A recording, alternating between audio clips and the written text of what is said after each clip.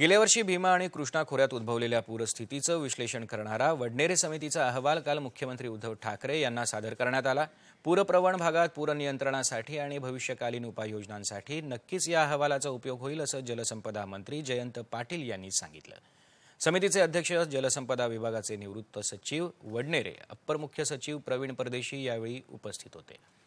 भीमा आणि कृष्णा खोऱ्यात दोन हजार एकोणीसमध्ये उद्भवलेल्या पूरस्थितीची अत्याधुनिक तंत्रज्ञानाद्वारे विश्लेषण करून कारणं शोधणं भविष्यात पुराची दाहकता कमी करण्यासाठी तांत्रिक उपाययोजना धोरणं सुचवणं अशा अभ्यासासाठी नेमलेल्या या समितीनं तब्बल सव्वीस बैठका घेत पूरप्रवण भागांना भेटी देऊन तांत्रिक बाबींवर चर्चा करत विविध अंतर्गत अभ्यासगट नेमून सखोल अभ्यास करत हा विस्तृत अहवाल तयार केला आहे पुराची कारणमीमांसा आणि बॅकवॉटर अभ्यास करून त्यावर या अहवालात भर देण्यात आला आहे.